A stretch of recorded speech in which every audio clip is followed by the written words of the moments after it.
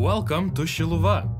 Šiluva is the sanctuary of one of the first apparitions of the Blessed Virgin Mary in Europe.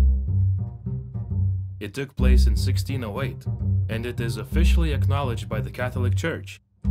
Šiluva is located in the northern eastern part of Europe in Lithuania, and it was an object of attraction for people from 41 different countries in the year 2018. The most important objects in Šiluva are the Baroque Basilica, where the miraculous picture of the Blessed Virgin Mary with the Divine Child is being held. The picture was solemnly canonized in 1786. The Chapel of Apparition, with the miraculous stone rebuilt in 1924. The Chapel of the Sick. The Way of the Cross around Šiluva.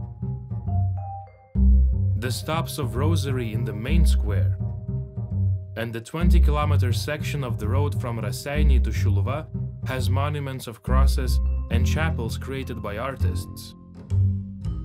Special dates The town is best known for the feast of the Nativity of the Blessed Virgin Mary. In Lithuanian, it's called Šilinės, celebrated each year during the 7th and the 15th of September. The 13th day of every month is Mary's Day. The last Friday of every month is the Day of the Sick.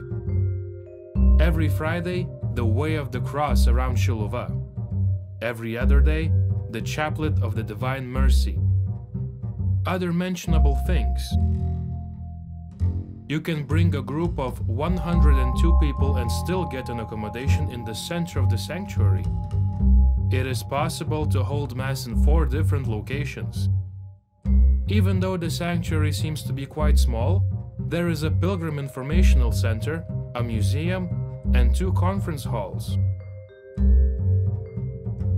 People Two permanent priests, a congregation of sisters, and the local community serve in the Šiluva constantly. Saint Pope John Paul II visited Šiluva in the year 1993.